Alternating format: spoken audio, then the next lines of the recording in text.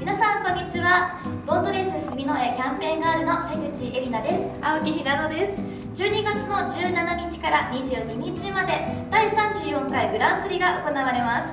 今回初の内ーということでたくさん皆様の皆様ご来場お待ちしております。電話投票などもできますのでぜひ遠方の方もご参加ください。ぜひ来てください。